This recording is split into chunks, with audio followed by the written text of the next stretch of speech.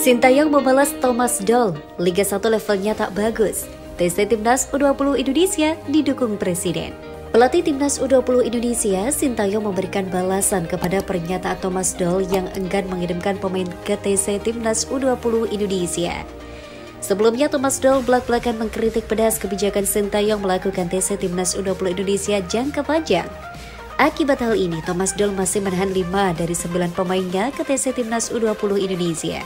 Thomas Doll berpendapat TC kurang penting karena para pemain terasa dan berkembang di kompetisi seperti Liga.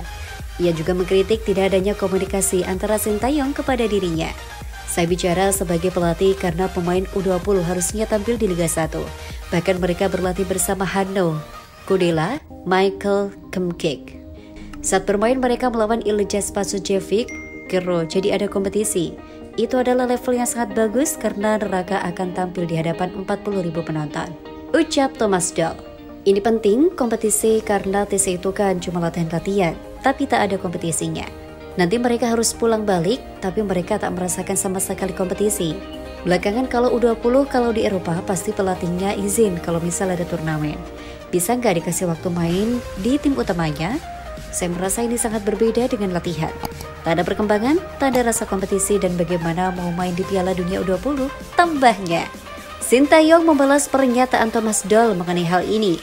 Ditemui awak media termasuk balas pada usai latihan hari ketiga pada Jumat 3 Februari 2023, Sintayong setuju bila pemain terasa lewat Liga, namun Liga Indonesia saat ini berada level yang tidak bagus.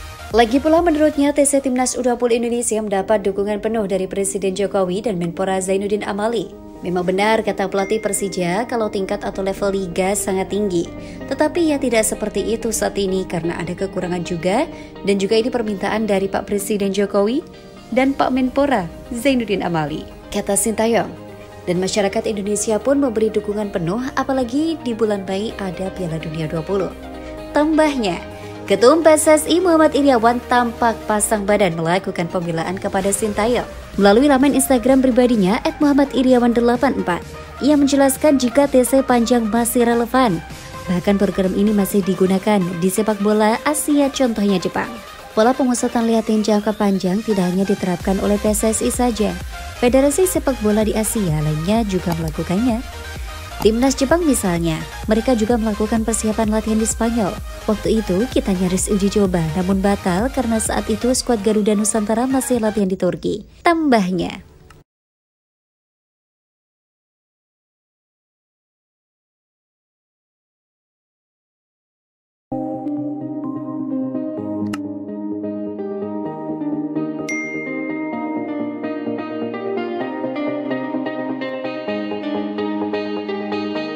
Marcelino Ferdinand dan Ronaldo Kuate absen di TC Timnas Indonesia U20. Sintayong ngamuk Pelatih Sintayong merasa tersinggung dengan absennya Ronaldo Kuate dan Marcelino Ferdinand di pemusatan latihan timnas Indonesia.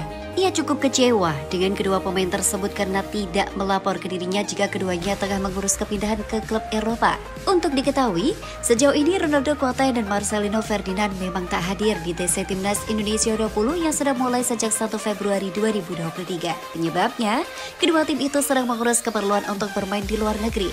Khusus untuk Marcelino Ferdinand, ia memang sedang berada di Belgia usai menandatangani kontrak dengan klub Belgia KMSK Denzi. Sementara itu, Ronaldo Kuate absen karena dikabarkan segera bertolak ke Turki untuk bergabung dengan Burnsport. Melihat hal tersebut, Sintayong pun kecewa karena tidak ada laporan langsung kepadanya dari dua pemain itu. Pelatih asal Korea Selatan itu juga mengatakan, absennya dua pemain itu cukup mengacaukan skema yang sudah ia siapkan. Jujur, tidak bisa diberikan jawaban pasti. Belum pernah dapat detail laporan seperti apa dari mereka. Kata Sintayong kepada awak media termasuk MNC Portal Indonesia di Jakarta 3 Februari 2023. Saya sedikit kesinggung juga karena dua pemain ke luar negeri itu tanpa ada laporan. Lanjutnya, Apalagi kami sedang mempersiapkan Piala Dunia dan Piala Asia, jadi lumayan kacau juga rencana yang sudah saya siapkan. Papar Sintayong. Sebagai informasi, saat ini Timnas Indonesia 20 memang tengah menggelar TC selama satu bulan penuh. TC itu bertujuan untuk persiapan Timnas Indonesia 20 mentas di Piala Asia 20 2023 yang akan digelar di Uzbekistan mulai 1 Maret 2023 mendatang. Lebih jauh, Timnas Indonesia 20 juga akan bersiap berlaga di Piala Dunia 20 2023. Kompetisi bergengsi berlangsung di Indonesia itu rencananya bergulir pada 20 Mei hingga 11 Juni 2023.